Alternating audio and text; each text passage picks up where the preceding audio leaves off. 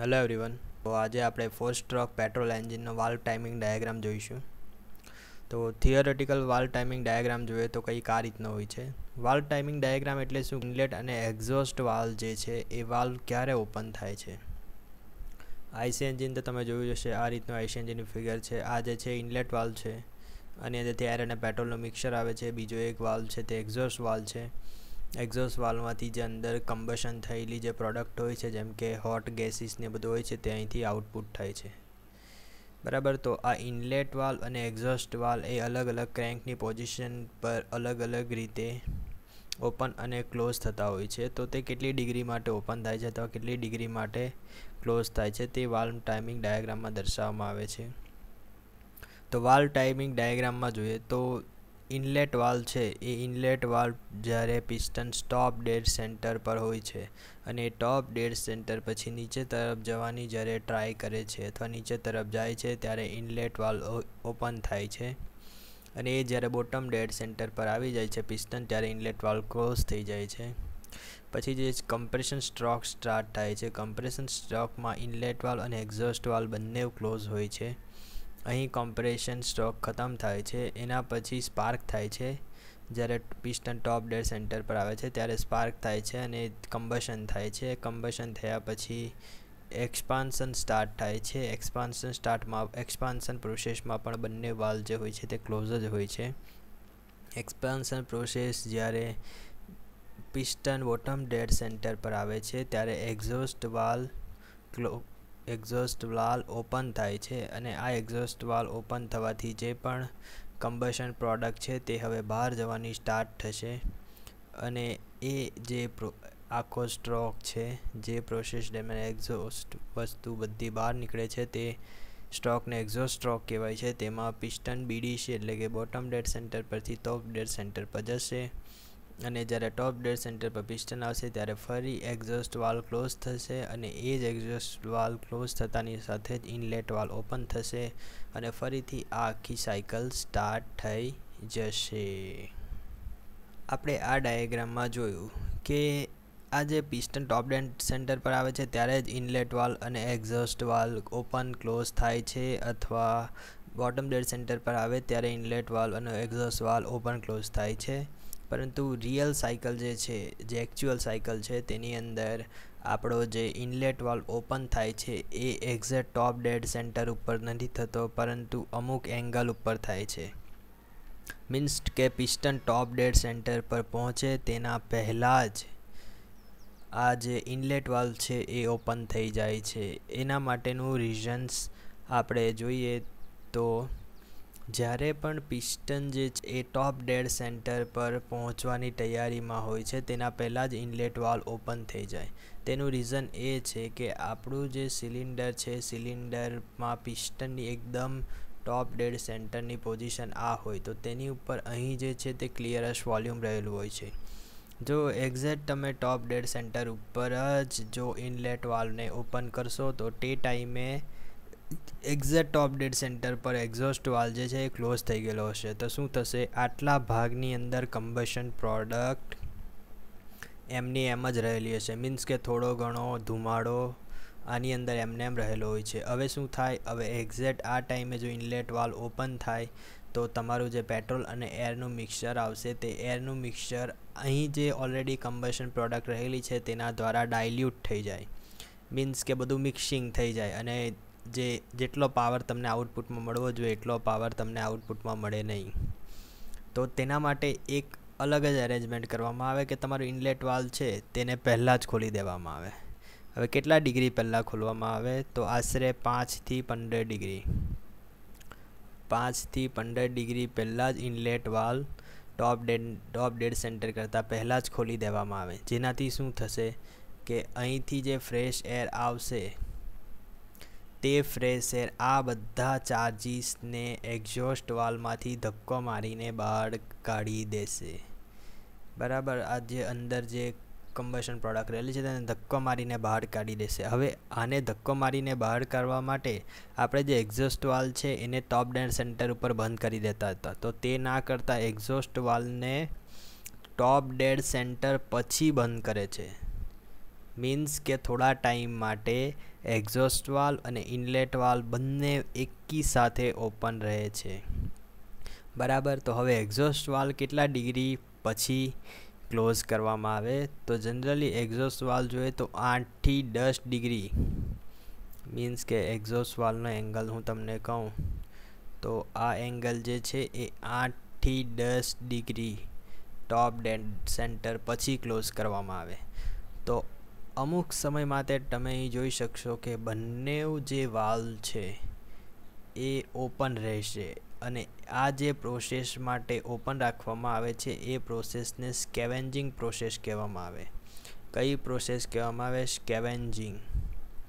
Scavenging જે process છે તેના માટે આ બંને વાલ્વ એકી સાથે એક જ ટાઈમે ઓપન રાખવામાં આવે કે જેથી જે નવા ચાર્જ આવી રહ્યા છે. એ નવા ચાર્જ અંદરના જે ઓલરેડી શરીરને ક્લિયરન્સ વોલ્યુમની અંદર ઢગલો થયેલા છે, તેને બહાર ધક્કો મારીને બહાર કાઢી દેશે તો હવે જે સ્કેવેન્જિંગ પ્રોસેસ છે, એ જનરલી કેટલા ડિગ્રી માટે હોય છે? તો સ્કેવેન્જિંગ પ્રોસેસની ડિગ્રી આપણે જોઈએ, તો આઠ ને પાંચ તેર ડિગ્રી આનો આઠ લઈ લઈએ અને આનો પાંચ લઈ લઈએ તો તેર ડિગ્રી અથવા આનો પંદર અને દસ લઈ લઈએ તો પચીસ ડિગ્રી. તો તેરથી પચીસ ડિગ્રી માટે સ્કેવેન્જિંગ પ્રોસેસ જનરલી થતી હોય છે. જો વાલ ટાઈમિંગ જે ડાયાગ્રામ છે અલગ અલગ સ્પીડ માટે અલગ અલગ હોય છે. એકદમ સ્લો સ્પીડ હોય તો તેના માટે સ્કેવેન્જિંગ પ્રોસેસ થર્ટી ડિગ્રી જેવી હોય છે. અથવા એકદમ હાઈ સ્પીડ હોય તો તેમના માટે જે સ્કેવેન્જિંગ પ્રોસેસ જે છે, એ વધારે રાખવી પડે. મીન્સ કે વધારે ટાઈમ સુધી તમારે વાલ્વ ઓપન રાખવા પડે. કેમ કે બધું સ્પીડમાં થાય છે ને. એટલે થોડો ટાઈમ વધારે આપવો પડે. બરાબર? તો હવે આપણે ઇનલેટ વાલ અને એક્ઝોસ્ટ વાલ ક્યારે ઓપન થાય, ક્યારે ક્લોઝ થાય, કેટલા ડિગ્રી પહેલાં ઓપન થાય, કેટલા ડિગ્રી પછી ક્લોઝ થાય, એ આપણે અહીં જોઈ લીધું. હવે અહીં તમને બતાવું તો આપણે રેડ કલરનો જે સ્ટોક છે, આપણો ફર્સ્ટ સ્ટોક છે, તેમાં ઇનલેટ વાલ ઓલરેડી ઓપન થઈ ગયો. હવે જે ઇનલેટ વાલ ક્લોઝ કરવાનું છે, અહીં તમે જોઈ શકો છો ઇનલેટ વાલ જે ક્લોઝ કરવાનું છે ઇનલેટ વાલનું જે ક્લોઝિંગ છે એ પણ એક્ઝેક્ટ બોટમ ડેડ સેન્ટરે નથી થતું, પરંતુ બોટમ ડેડ સેન્ટર પછી થાય છે. એના પાછળનું પણ એક રીઝન છે, પરંતુ પહેલાં જોઈ લઈએ કે કેટલા ડિગ્રી સુધી હોય છે.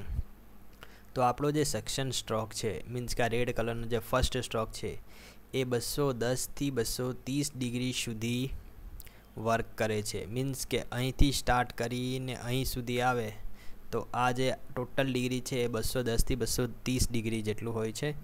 અને inlet valve remain open for કેટલા ડિગ્રી માટે ઇનલેટ વાલ્વ ઓપન રહે છે? તો તેનો આન્સર પણ આ જ આવશે. જનરલી આ એક્ઝામમાં પૂછાય છે ઘણી બધી વાર આરટીઓની એક્ઝામમાં કે ઇનલેટ વાલ્વ કેટલા ડિગ્રી માટે ઓપન રહે છે? તો બસો દસથી બસો ત્રીસ ડિગ્રી માટે ઓપન રહે છે, પછી સ્કેવેન્જિંગ પ્રોસેસ.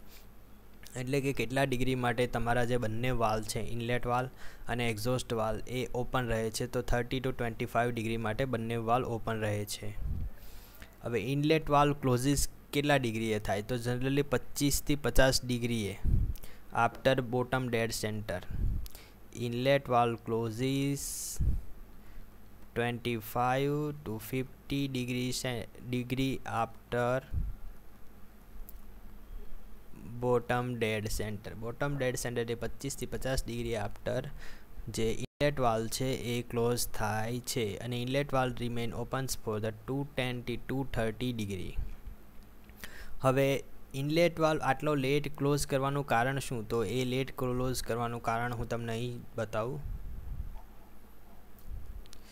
ઇનલેટ વાલ લેટ ક્લોઝ કરવાનું કારણ એ છે કે તમે જ્યારે પિસ્ટનમાં આ જે સિલિન્ડર છે તેમાં જે પિસ્ટન નીચેની તરફ મૂવ કરતો હોય તો ઇનર્શિયાની ઇફેક્ટ આવે છે. નીચેની તરફ મૂવ કરે તો ગેસ ઇનલેટ થવાનું ચાલુ થશે, બરાબર?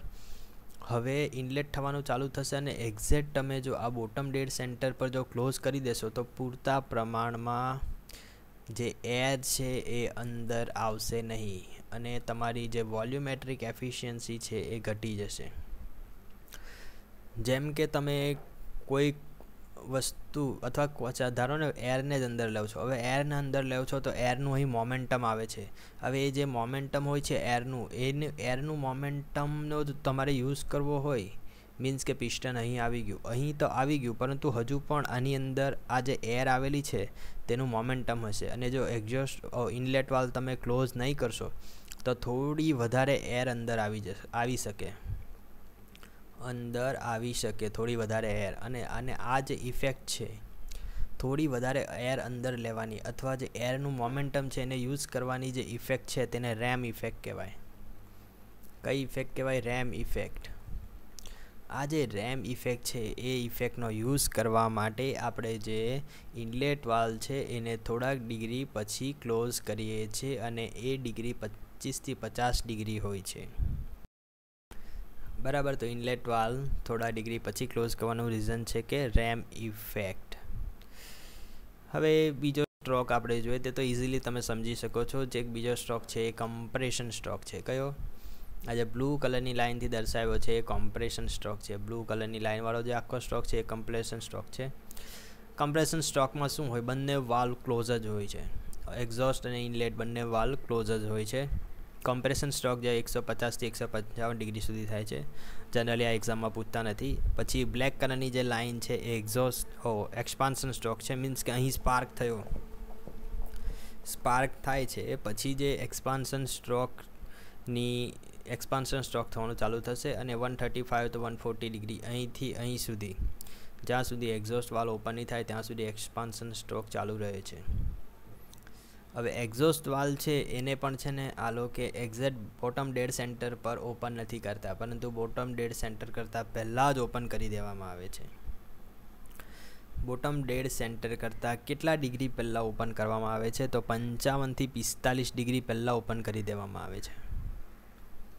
કેટલું? પંચાવનથી પિસ્તાલીસ ડિગ્રી આ જે છે, એ એક્ઝોસ્ટ વાલ ઓપન પંચાવનથી પિસ્તાલીસ અથવા પિસ્તાલીસથી પંચાવન degree before bottom dead centre bottom dead centre કરતાં પહેલાં જ એક્ઝોસ્ટ વાલ ઓપન કરી દેવામાં આવે. હવે આ જે એક્ઝોસ્ટ વાલ આપણે ઓપન કર્યો, બરાબર? એક્ઝોસ્ટ વાલ એ એક્ઝોસ્ટ વાલ ઓપન આટલા ડિગ્રી બિફોર કર્યો, એનું રીઝન શું? તો તમે જો એક્ઝોસ્ટ વાલ અહીં ઓપન કરશો બરાબર? તો શું થશે કે આ જે બીજો આખો સ્ટ્રોક છે કે જે સ્ટ્રોકમાં પિસ્ટન બીડીસીટી ટીડીસી જાય છે, એ દરમિયાન તમારે જે પણ કમ્બશન પ્રોડક્ટ જે જનરેટ થઈ છે અંદર, તેને બહાર કાઢવા માટે ફરીથી તમારે એનર્જી ખર્ચ કરવી પડશે. બરાબર? હવે એ એનર્જી જો ઓછી ખર્ચ કરવી હોય તો ઓછી ખર્ચ કરવી હોય અને આ જે અહીં જે પ્રેશર પ્રોડ્યુસ થયું કમ્બશન દરમિયાન એક્સપાન્સનનો જે સ્ટ્રોક હતો તે દરમિયાન, કમ્બશન દરમિયાન જે પ્રો પ્રેશર જનરેટ થયું, એ પ્રેશરની મદદથી જ આ જે એક્ઝોસ્ટ પ્રોડક્ટ છે એને બહાર કાઢી નાખવી હોય. અને એની જે કાઇનેટિક એનર્જી છે તેની મદદ લઈને જ એક્ઝોસ્ટ એક્ઝોસ્ટ પ્રોડક્ટને તમારે તમારા સિલિન્ડરમાંથી બહાર કાઢી નાખવી હોય તો તેના માટે એક્ઝોસ્ટ વાલ્વને આટલા ડિગ્રી પહેલાં ખોલી દેવામાં આવે છે. કેટલા ડિગ્રી? પંચાવનથી પિસ્તાલીસ degree before bottom dead centre ખોલી દેવામાં આવે છે.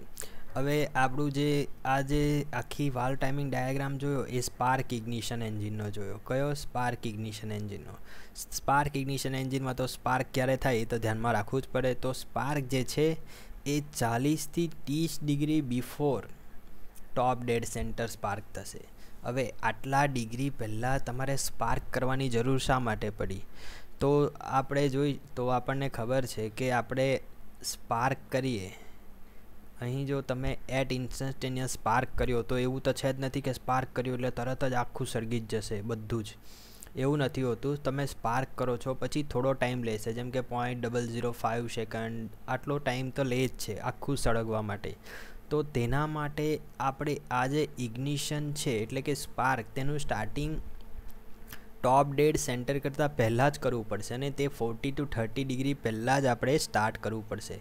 અને આ જે આપણે પહેલાં જે સ્ટાર્ટ કરીએ છીએ ઇગ્નિશન તેને કહેવાય ઇગ્નિશન લેગ શું કહેવાય ઇગ્નિશન લેગ મીન્સ કે ઇગ્નિશન લેગ એટલે સળગાવવામાં, સળગવાની જે આખી પ્રોસેસ થવામાં જે લેક થાય છે, એટલે કે મોડું થાય છે, તે મોડુંને આપણે કમ્પન્સેટ કરવા માટે forty to thirty degree before આપણે સ્પાર્ક આપવો પડે કે જેથી એટલી ડિગ્રીએ તમે સ્પાર્ક આપો તો તમારું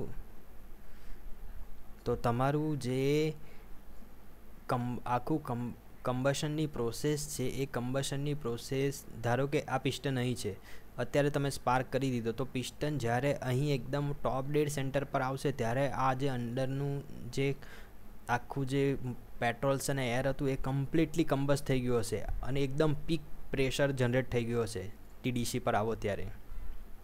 તો આટલો જે ટાઈમ છે તેને ઇગ્નિશન લેક કહેવાય. શું કહેવાય ઇગ્નિશન લેક અને ઇગ્નિશન લેકના કારણે જ ટોપ ડેડ સેન્ટરની ચાલીસથી ત્રીસ ડિગ્રી પહેલાં સ્પાર્કિંગ કરી દેવામાં આવે છે.